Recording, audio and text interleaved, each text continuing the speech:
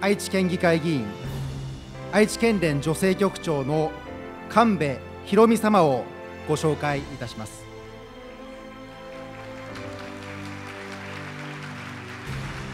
神戸様は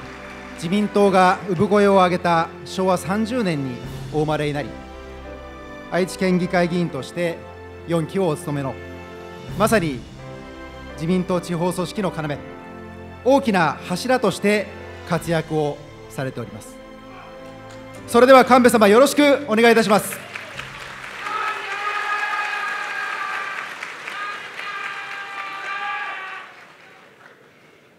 私は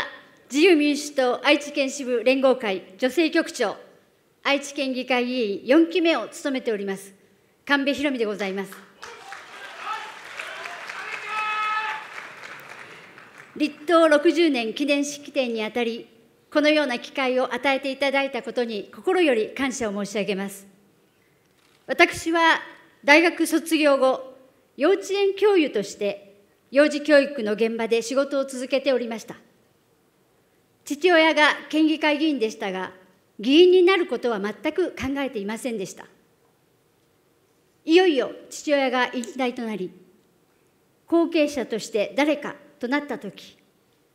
今の社会を予言したような夫の一言が決心のきっかけとなったのです。これからは女性の時代だ。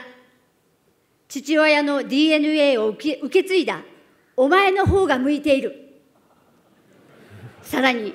自分自身が子育てや家事と仕事を両立させてきたこと。また幼児教育の現場にいることが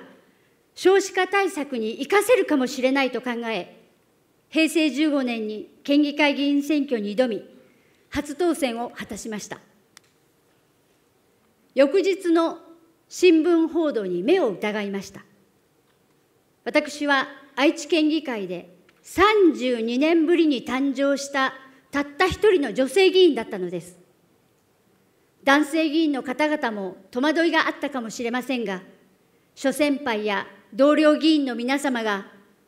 温かく、時には厳しく、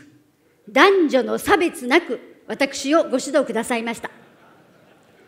あの時のご指導があったからこそ、今の自分があると感謝しています。さらにその時代は全党で知事を支援していたことが幸いし、超党派の女性議員で勉強会を一緒にと集まりました。内閣府や厚生労働省から女性官僚を講師としてお呼びし、女性に関する問題を議会で取り上げました。まず取り組んだのは女性の就労問題です。産休明けの女性の就労支援の整備不足を訴えました。次に、不妊治療で悩む女性と、障害児を受け入れている幼稚園に、県単独の補助金をつけてほしいと訴えました。DV 被害者を救うために NPO 法人の方々と共に施策を提言、一般質問で取り上げ、危険度アセスメント表の作成につなげたのです。高い派と協力し、子どもを虐待から守る条例をいち早く策定しようと、我が党のプロジェクトチームの座長を務めさせていただきました。このように、女性ならではの提案からさまざまな施策を実現してきましたが、その変化はわずかで、少子化対策も劇的変化は見られません。それはなぜか、現場の声が届いていないからです。私が女性の就労問題を取り上げた12年前から、20代後半から30代の女性が退職する日本独特の M 字カーブはいまだに変わりません。安倍総裁にぜひお願いしたいことがあります。それは、働く女性全員が育児休業に必要な期間を十分に確保できるよう、企業に働きかけていただきたいということです。私の時は産後わずか2ヶ月しかなく、我が子に母乳もやれませんでした。日本の99%を占める中小企業は、育児休業どころか、妊娠発覚でマタハラを受け、退職に追い込まれるケースが後を絶ちません。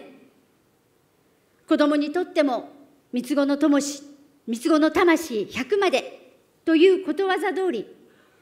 人格が形成される幼少期に、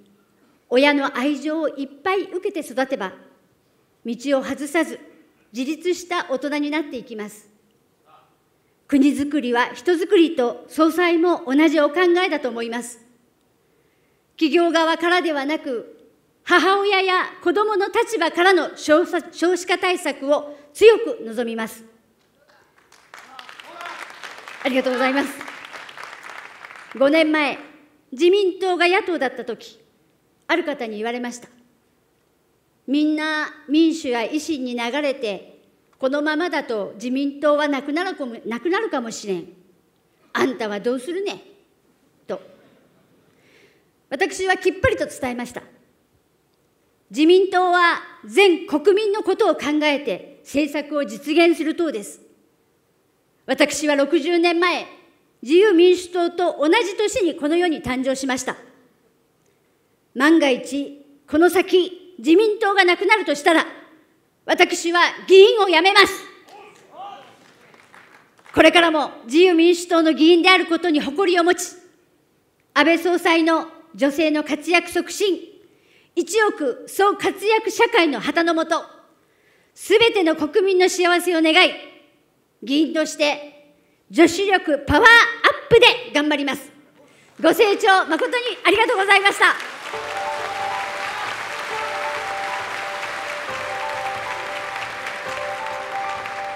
神戸様、